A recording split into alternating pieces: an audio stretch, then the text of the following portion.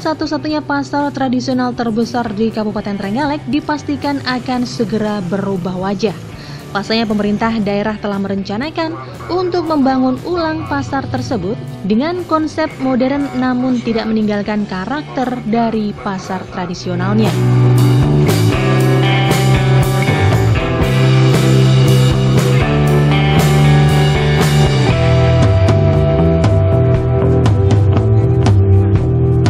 Berdasarkan perencanaannya, Pasar Pon Kabupaten Trenggalek akan dibangun menjadi dua lantai. Sedangkan di lantai bawah akan terdapat hall yang cukup luas untuk display produk, promosi, maupun kegiatan pameran, seperti halnya konsep yang ada pada pasar modern atau mall.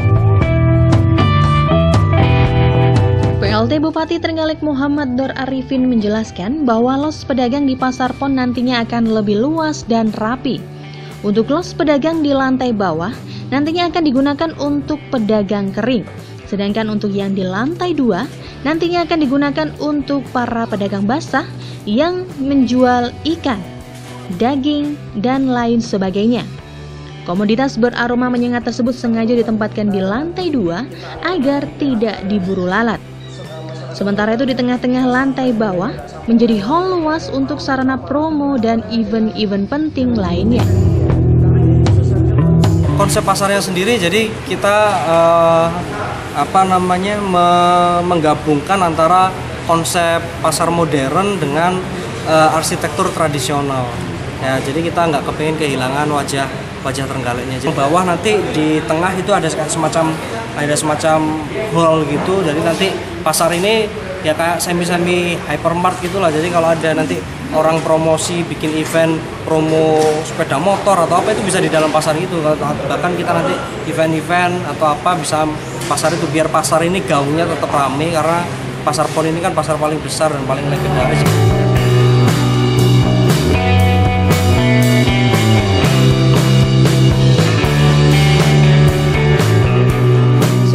Diketahui bahwa pemerintah Kabupaten Trenggalek telah menganggarkan pembangunan ulang pasar PON ini sebesar 35 miliar rupiah dan akan dianggarkan selama tiga tahun sejak tahun 2018 ini.